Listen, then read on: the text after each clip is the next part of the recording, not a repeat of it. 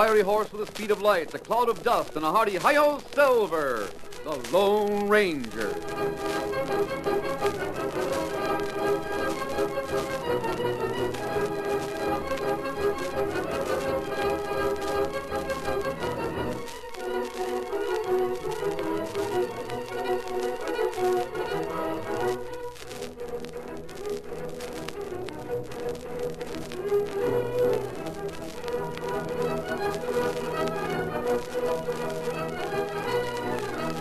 了。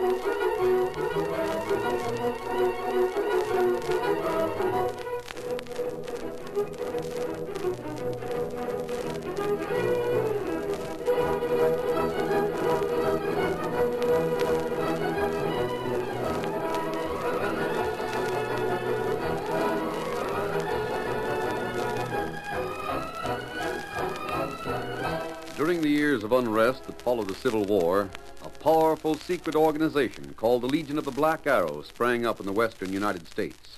Its members were to be found everywhere, defying the law or using the law for their own purposes, working toward the ultimate goal of revolt and the foundation of a despotic empire. It was the masked rider of the plains who led the fight against this band of outlaws and traitors, and for once his great strength and courage, his daring and resourcefulness were taxed to the utmost in the cause of democracy. Return with us now to those thrilling days when the West was young.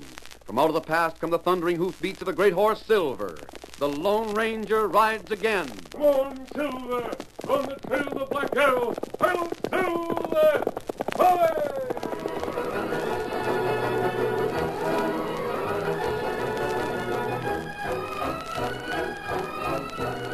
With the information that the Calvert Ranch was the stronghold of the Black Arrow, the Lone Ranger and Tonto headed west from the Missouri River.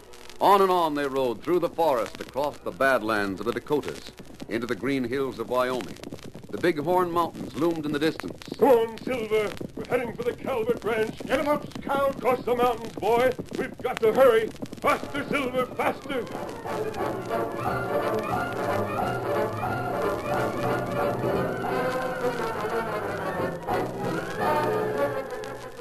Calvert Ranch was the biggest spread in Sherman County, and on Saturday, the Bar C cowhands crowded Sherman City.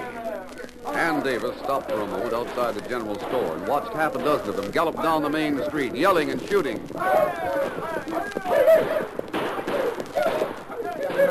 Killers. If we had any law in this county, they'd be in jail. What's that about the law, Miss Ann? Oh, get out of my way, Red Dixon. Haven't you heard? I'm the law here. Yeah, fine, Sheriff. Well, I got a badge that proves it. Of course, I don't remember to wear it often, but... As far as I'm concerned, you're the foreman of the Bar C and nothing more. You're just as bad as your men. Oh, now that ain't respectful. Let me by. Pretty girl like you shouldn't be carrying her own basket. Here, I'm going to show you what a gent I am. I'm going to carry it for you and help you into your buggy. Take your hands off me. Didn't you hear the lady, Red? She said to take your hands off. I don't like that, Turner. Why don't you let her get into the buggy? You're talking to your boss. You haven't been for long. It isn't hard for me to forget it. Go on, Turner. Go on down to the cafe with the rest of the boys. This ain't any of your business. I'm making it my business. Where I come from, we always mind our manners with a lady. Get out of here. I'll let you have it. You let me have what? I'll show you. I always return a compliment like that, Red. Now, miss, if Look you out, he's going for his gun. I noticed that. You're covered, mister. I want to thank you, but you shouldn't have done this. You're new in Sherman County. You don't know what you've let yourself in for. Well, maybe you could tell me more about that. What? I'm dead certain I've lost myself a job for one thing. My horse is right here. Would it be all right if I rode for you with a wait? Yeah, you better do that. You can come out to our ranch. Well, you, Red, take it easy. Don't try to get up till after we're started. Come along, Beth. Get out. I got some advice, Tonto. Get out of the county or you'll pay for this with your life. You'll have to learn to draw a little faster, Red. Get up, Chief.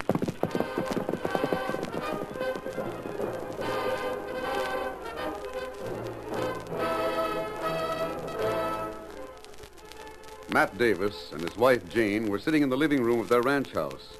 Mrs. Davis was sewing, but her eyes strayed to the trail every now and then. At last she saw a cloud of dust in the distance. Quickly, she put aside her sewing and started for the door. I wonder if anything's wrong. Where you going, Jane? Anne's come back from town. She's driving mighty fast. Well, she always does. Someday that buggy's gonna fall apart. There's a cowboy riding beside her. Yeah. Don't look like any of our boys. Matt, I shouldn't have let her go into town alone on a Saturday. She looks hale and hearty to me. All that Bar C crowd roaming the streets with nobody to keep 'em in line. It's a sin and a shame, that's what it Now, is. don't get yourself riled up, Jane. Whoa, Beth. Whoa, girl, whoa. Anne, are you all right? I'm fine, Ma. What's your name? Bob Turner. Oh, I'm Ann Davis. I want you to meet my ma and pa. Howdy. This is Bob Turner. I'm pleased to meet you. The same. He's been working for the Bar C. The but- Bar C. Get off of this porch, you ornery low down. Now listen to the girl, Jane. This boy may have worked for the Bar C, but he don't wear the brand on his face. Red Dixon got smart just as I was coming out of the store, and Bob put him in his place. It means he's lost his job. Can't we find a place for him here, Pa? How'd he put Red in his place? That's what I want to know. you knocked him down and then showed up his draw. Yippee! I'll make him foreman. Oh, no, I wouldn't ask for that, Mr. Davis. Matter of fact, I don't know whether I can take the job or not. You don't mean to say you're going to take Red's advice and hightail it out of the county. I reckon not, Miss Ann. Then you've got to find a job someplace. Yeah. But first, there's a little business I'll have to attend to. I'm going to take myself a ride up in the hills. And afterwards, well, if it's all right, I'll be glad to go to work. I, uh, I apologize for what I called you, young man. Well, that's all right, ma'am. What's up in the hills? Why are you going up Nah, there? never mind, Ann. All we care about's when's you coming back. My business shouldn't take long. I'll be back by nightfall. Well, try to make it in time for supper. I will. Adios. Adios. Pa, What, Ann? I can't help thinking there's outlaws up in the hills. Got any doubts about Bob? Not from looking at his face. I can't always tell by that, though. Get up there, Chief. Anne's right. Handsome is as handsome does.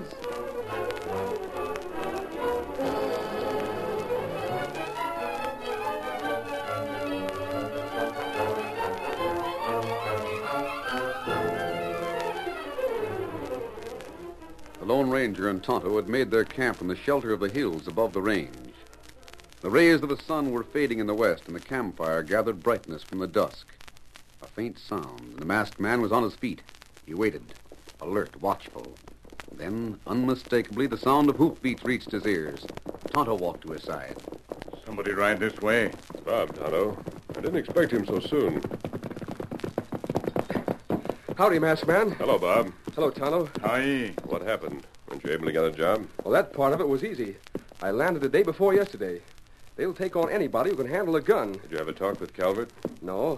From what Dixon told me, you're expected to work around the place a couple of weeks before you even see him. I guess I won't have the chance. Why not?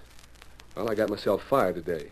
Red forgot his manners with a young lady in town, and, well, I just couldn't stand by, masked man. Uh, of course not.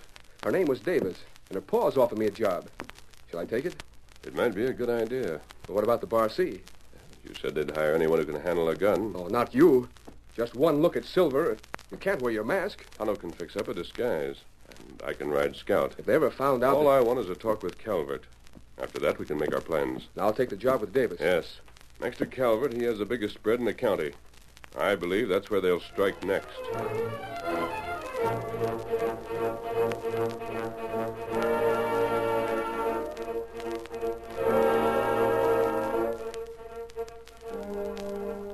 Long after dark, and Bob had not returned to the Davis ranch.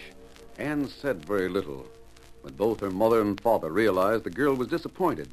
The three of them had decided in silence they would never see the young cowhand again. Then, Horses outside, Pa. There's more than one. Can't be Bob. Uh, Joe and Harry might have rode up from the bunkhouse. I'll open it. Judd Calvert. I'm here too, sister. And Red, what do you want? We came to see your pa. You ain't welcome here, Calvert. Arrest him, Sheriff. Sure thing.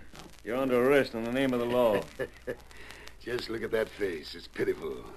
You trying to figure out what the charge is, Davis? I haven't broke any law. Right. There ain't any charge either. But if I wanted to throw you in jail, there wouldn't have to be one. That's the way things stand in Sherman County, and the sooner you realize it, the better. You dirty Now, little... now, don't, Pa. What are you here for? Want to get down to business right away, huh? That suits me. I've decided to take over this ranch. You've decided. It what- ain't for sale. I guess you didn't hear me. I didn't say nothing about buying it. Get out of here. No. There won't be any money change hands at all. You're going to sign it over to your daughter. I'm going to marry her. Oh, The man's gone loco. What's the matter, Miss Ann? Don't you want to marry the boss? I'd rather die. We could arrange that, too. Shut up. That's the way things stand, Davis. I want your ranch, and I want your daughter. I mean to have 'em. Over my dead body. Don't say things like that. Red might take you serious. There's a law in this state, even if there isn't in the county. I'll get the governor to send troops here. You and your gunmen are nothing but a gang of outlaws. You said that before. I'll say it again, and we'll see what the governor says after I get finished talking to him. You tried it, Matt. If you even started for the capital, you wouldn't get ten miles. You and your wife and your daughter are prisoners. We aren't going to let you move out of the county, and we aren't going to let you keep this ranch. The wedding takes place next Saturday. Come on, Red.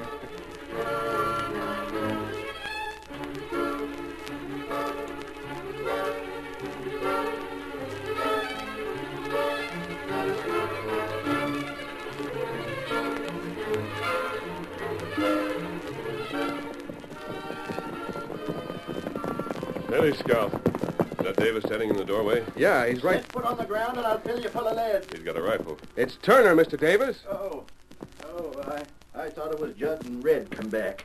They've been here? Yeah. Judd wanted to break the news that he was going to marry Ann and take over the ranch. If he so much as set foot on my land again, I'll shoot him for a trespasser. He might want you to try something like that. Yes. Yeah. Who's the big fellow with you, Bob? A friend of mine. Uh, you still figure on heading for the Bar C, mister? More than ever. I'll see you later. Where? Right here. Come on, Scout.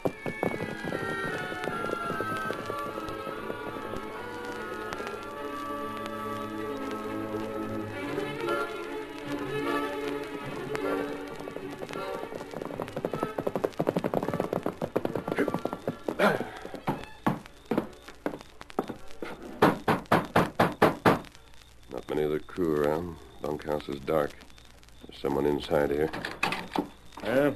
I want to see Calvert. Oh, yeah? Is he here? You tell me what you want, and I'll decide whether he is or not. I've got nothing to say to you, and I'm coming inside. Get out of the way. Why, you... And don't start anything you can't finish. You think you're a mighty tough hombre, don't you? I didn't say that. Well, get this. I'm Red Dixon, see? I'm the foreman of this outfit, and what I say around here goes. You tell me what you want, or I'll throw you out. I want to see Calvert. Who are you? What's your name? Is he in there? Don't you make a move. I'm warning you. Get away from that door. You dropped your gun, Red. Here. Don't you want to try again? Oh, you shot it out of my hand. This is the second time today somebody's outdrawn you, and that's bad for a man with your reputation, Red. You ought to keep in better practice. Oh, Go on, take the gun. Try it again. Come along. What's that? I suppose this exhibition was for my benefit. Are you Calvert? Yes. My business is with you and not with your hired help. Are you ready to talk to me? What's your name? Why don't you pick out one for me? Yeah? You might just as well. It'd save me the trouble, and uh, you'd be sure to remember it. That suits me. Come on in, Trigger. We'll have a talk. Right into the office. That's the idea. There's a gun in your back, mister. Reach for the ceiling. Pronto.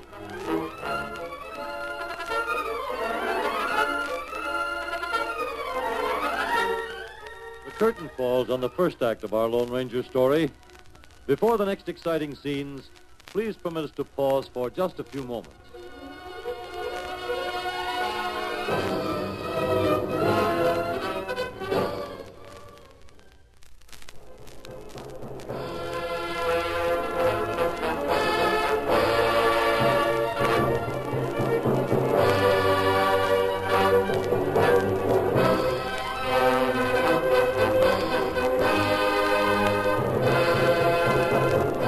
Now to continue our story. As the Lone Ranger, without his mask but wearing a disguise, walked into Judd Calvert's office, the rancher stuck a gun in his back and ordered him to reach. You feel the gun trigger? I'm not blind. Blind. There's a mirror on that wall ahead. I, uh, I saw you go for it. Why didn't you do something about it? Why should I? I proved I could take care of myself by taking care of Red. Yeah. You can take care of yourself. Maybe me too. I feel more comfortable if you don't pack a shooting iron. Take them. I will. Satisfied? Just about the coolest customer I ever met. Sit down. Your desk all right? It's fine. Let's have it. Why are you here? You're smart, Judd. You ought to be able to figure that out for yourself. What a job? That depends. How big is it? As big as Sherman County. You don't own it all? Not yet, but I will. Are you going to stop there? I'm the one who should be asking questions. There's a lot I have to find out. You haven't got the Davis spread yet, or the Circle Dot, or the flying W. Now, if they were to get together, Let 'em try. if they do, they could use men. They might pay more than you. You're aching for range war, aren't you? I've had a little experience. You're too big for Billy the Kid. It won't do you any good to guess. I, uh, I brought up money, Judd. I'll tell you this. I got more money back of me than you can imagine. How does that sound? Sound logical? I figured you must have. More than you can imagine. What's your answer? I'll think it over. Yes or no right now? Would you mind handing back my guns? You win, Trigger. Yeah. I could use you. No sense in starting off on the wrong foot. When'll I hear from you? Tonight. Good. The same door I came in? You didn't leave your horse out and back, did you? No. I'll see you soon, Calvert. Tell Red to come in here. I will if he's around. The only trouble would be in handling him.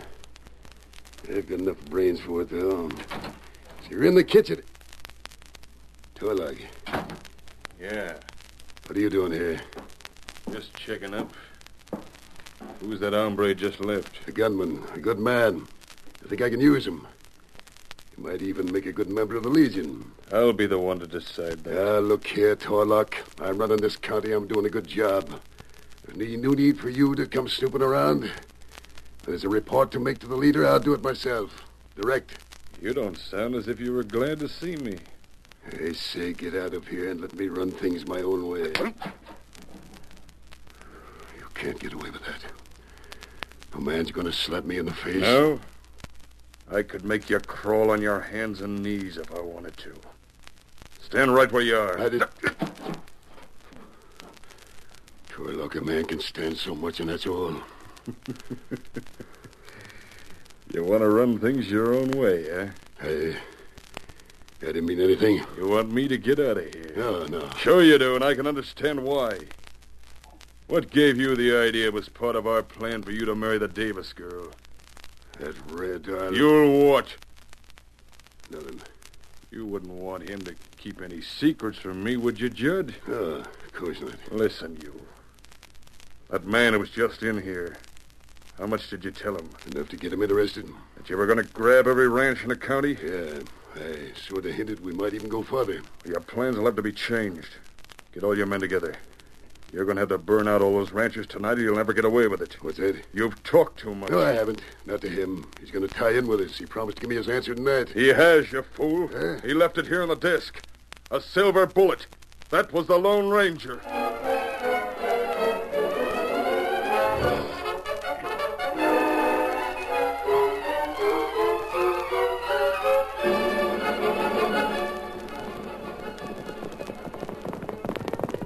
Kimosabe. I'll change the silver, Tonto. Uh, him saddle already. My mask. Uh, here. Calvert, we're going to action tonight. I want you to ride to that hill overlooking the ranch. When you see which way he and his men are heading, get to the Davis ranch as fast as you can. Ah. Come on, Silver.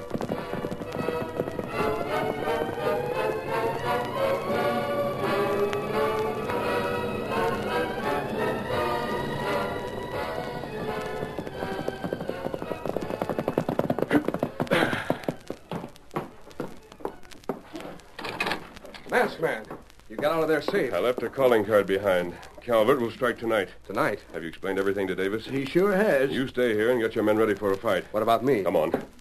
Is your horse saddled? Yep. Just around the side of the house. You're heading for the Circle Dot. Round up all the men and lead them back here. Tonto will bring us warning when they start out from the Bar C. Where are you going? We got the Flying W crew. That's too far. You can't get there in time. Silver can make it. Hip. Come on, boy. Get up there.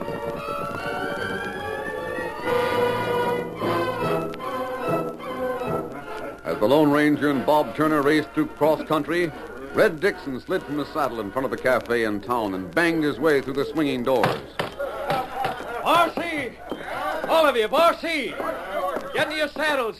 Judd Calvert's waiting for us out at the ranch. Tonight's the night, and tomorrow the whole county belongs to us.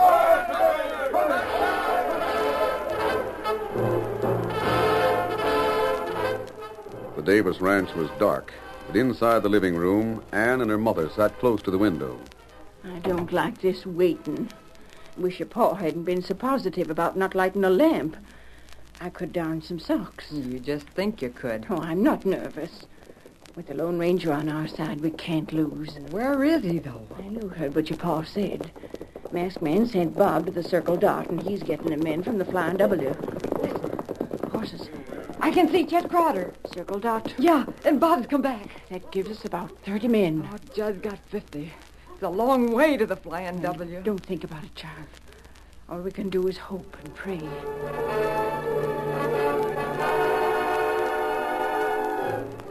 It was long after midnight. Matt's men and the Circle Dot crew waited near the corral. The night was peaceful, but the men talked in nervous whispers.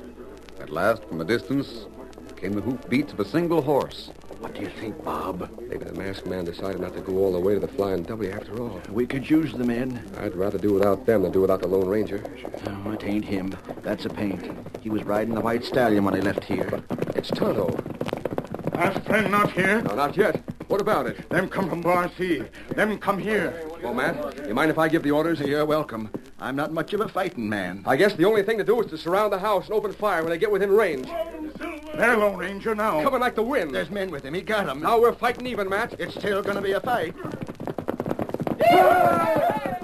They're on their way, masked man. We figured we'd surround the house. They're coming here, Tonto. Ah. Then they'll have to pass between Richmond Hill and Burnside. There isn't much of an opening. That's right. We'll split our force, half on each hill. When they get to the pass, we'll charge down on them. Take them by surprise. That's the idea. But we'll have to get to the pass first. Come on, Silver. Follow the Lone Ranger.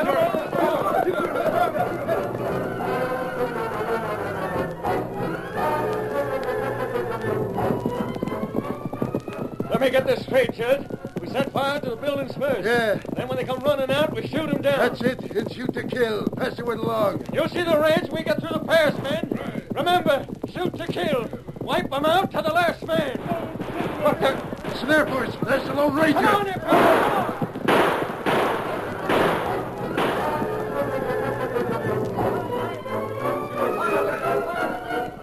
on. The honest rancher swept down the hillside. Before the Bar C gunmen could rein up and turn to face them, they were completely surrounded. They tumbled from their horses, fought for cover. Desperately, they fought back. But the surprise of the attack and the withering fire from the ranchers' guns put an end to the battle in less than ten minutes. Calvert's men threw down their guns and shouted their surrender to the sky. Hold in on them, boys. Rope 'em good. Here's Calvert. I can answer for him, Bob. I saw the black arrow on his wrist tonight. What about it? Take a look at Red's. Yeah, it's here. The others can go to jail. You'll have to take these two to St. Louis. I understand. I'm sorry I can't tell you more. Just turn them over to Colonel Hayden of the Intelligence Department. That's all right, masked man. You got your orders. Now I've got mine. You can't hold us. Why not? Red's the sheriff in this county. You can't hold us without taking the law in your own hands. I never like to do that, Judd. And that's why Bob's here. Meet the United States Marshal from Laramie. What the... You mean Bob Turner's? Yeah. United States Marshal from Laramie. Here. Shake hands with these handcuffs. Uh, just one thing more, Judd. When I left the ranch, I saw a red sorrel tied near the corral. None of your men are riding it. Pull out right, Sorrel. Yes, Tonto. Have you seen him tonight, Judd? No. We haven't seen Torlock for months. That sorrel belongs to me. Judd? Yeah, he was there. Well, you double-crosser. What about him? He ordered us out here tonight. He knew we'd get this. Is he still at the ranch? No. Which way did he go? South to Salt Lake. No. It's west of the Yellowstone. And I hope you'll get him. We'll certainly try. Come on, Tonto. Up, Tonto ready. Get him up, Scout!